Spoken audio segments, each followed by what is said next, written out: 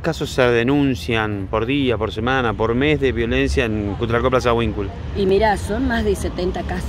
¿Mensuales? Eh, mensuales, más Bien. de 70 casos, incluso a mi número personal me llaman muchísimas mujeres eh, pidiéndome asesoramiento. Que haces al revés, digamos. Sí, sí, sí. No está Es hecha la más, denuncia. eh, otra situación que hay es que no hay, hay un turno en la comisaría de la familia que no hay oficial para atender a las víctimas de violencia. Claro. Entonces es como que avanzamos y retrocedimos. Claro. Obviamente vamos a tomar cartas en el asunto y vamos a tratar de tener algún tipo de respuesta de los diferentes este, ministerios. ¿La comisaría 4 está funcionando con cierta normalidad? Que no, no, no, la de la 4 hay un, ¿En la de un turno, sí, la de Cutralcó que no hay, donde está funcionando bárbaro después de que los medios me apoyaron en reclamar y en, reabrir la oficina de violencia de Plaza De Plaza.